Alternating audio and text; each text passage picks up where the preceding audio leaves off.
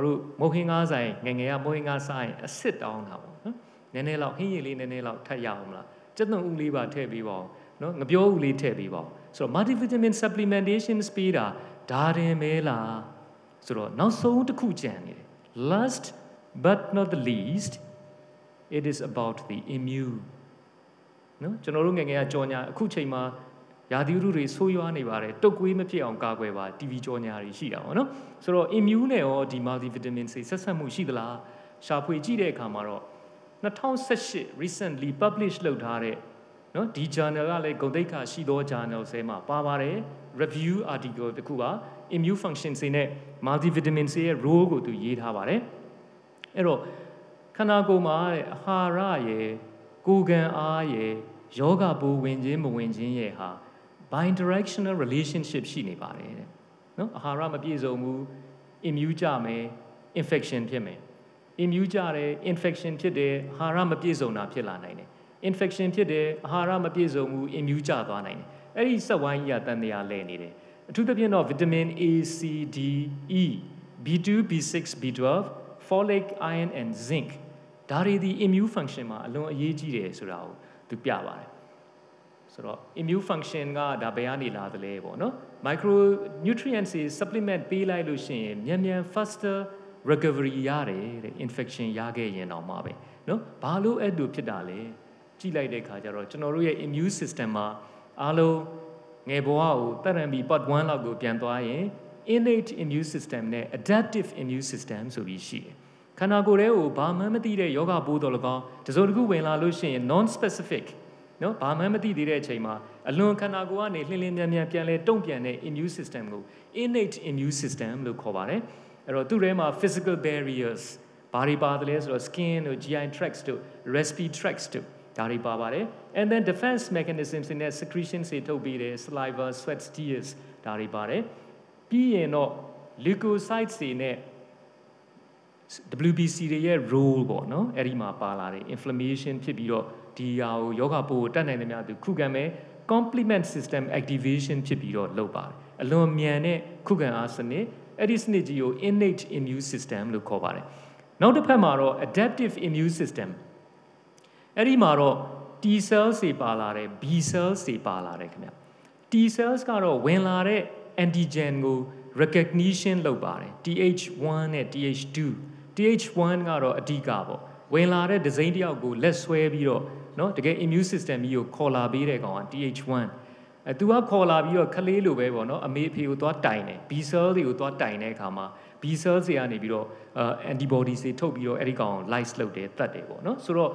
immune system ကအကြမ်းမြင့်ကြည့်လိုက်လို့ရှိရင် innate နဲ့ adaptive ဆိုပြီးရှိတယ် innate ကတော့အလွန်မြန်တယ် adaptive ကတော့ပိုတော့တိကျတယ်ရက်ပိုင်းလောက်ကြာမှပဲလာတယ်ပေါ့ so what about the rules of vitamins in the immune system vitamin C ကျွန်တော် in detail တွေတော့မပြောတော့ပါဘူးအချိန်ုံငဲ့ညာခြင်းအပြင် innate ဘက်မှာရော adaptive ဘက်မှာရော vitamin C ဒီအလွန်အကူအညီပေးပါတယ်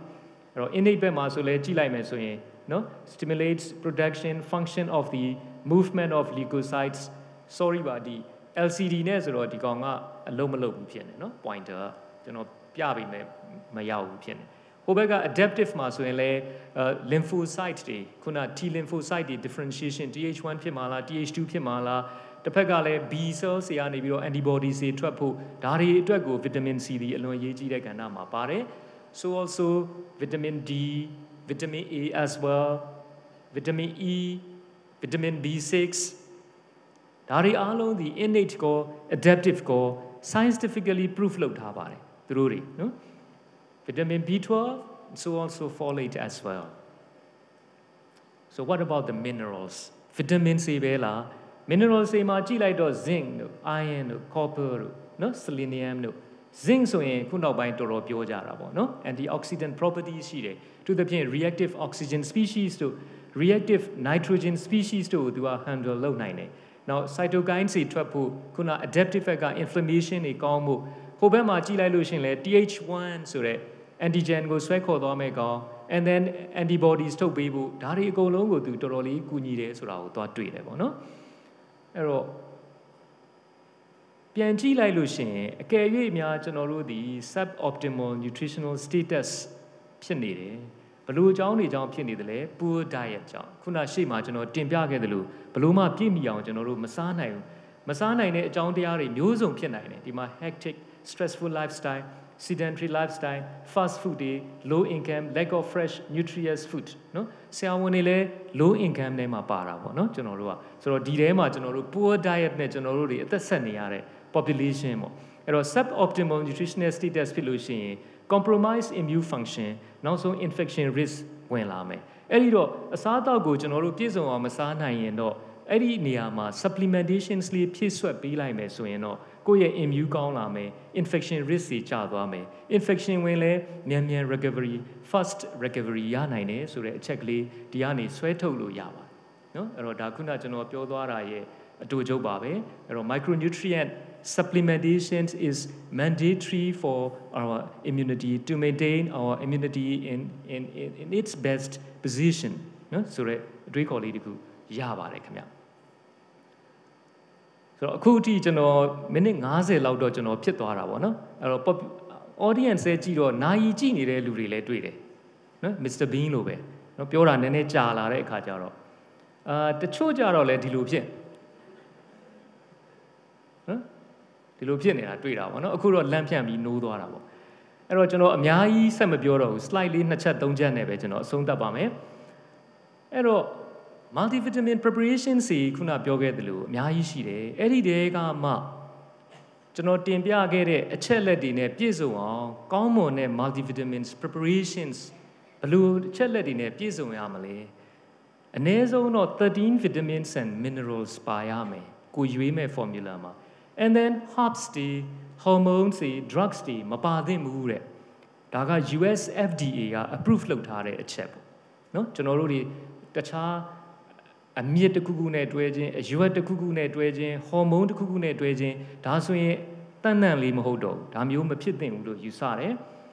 နောက်ဆုံးတစ်ခုကအရေးကြီးပါတယ်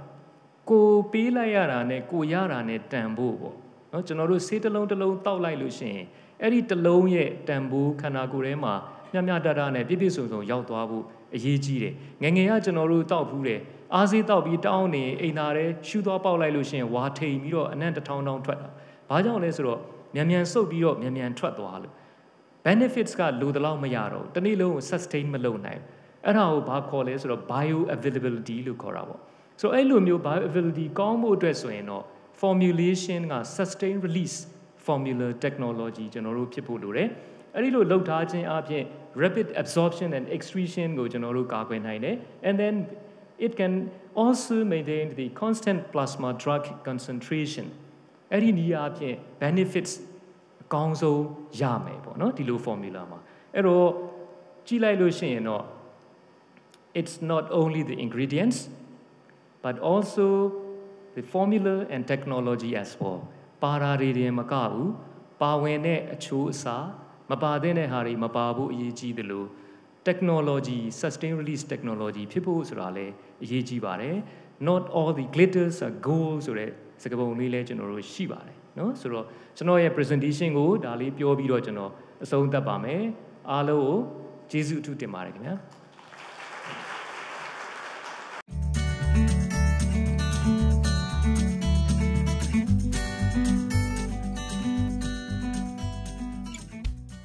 CFAM, caring for well-being.